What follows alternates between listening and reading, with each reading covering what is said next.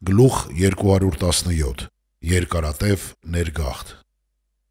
Պարսից Կյուրոս արքայի թակավորության առաջին տարում Տերն իր տված խոստումը իրագործեց Երեմիա եւ Եզեկիել մարգարեների միջոցով։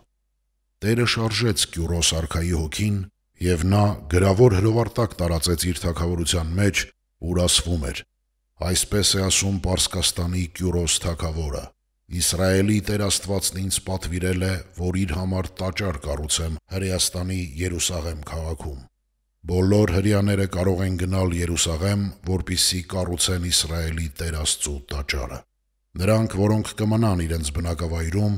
թող օգնեն գնացողներին ոսկով ու արծաթով, ձիերով եւ այլ անասուններով։ Եվ թող իրենց ունեցվածքից նվերներ տան Տիրոջ տաճարին, որը կառուցվելու է Երուսաղեմում։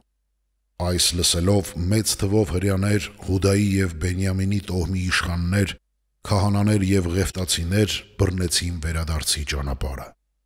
Գյուրոսը բերել տվեց Տիրոջ Սուրբ Սպասքը, որ Նաբուգոդոնոսորը բերել էր Երուսաղեմից եւ դրել իրենց կուրքերի տանը։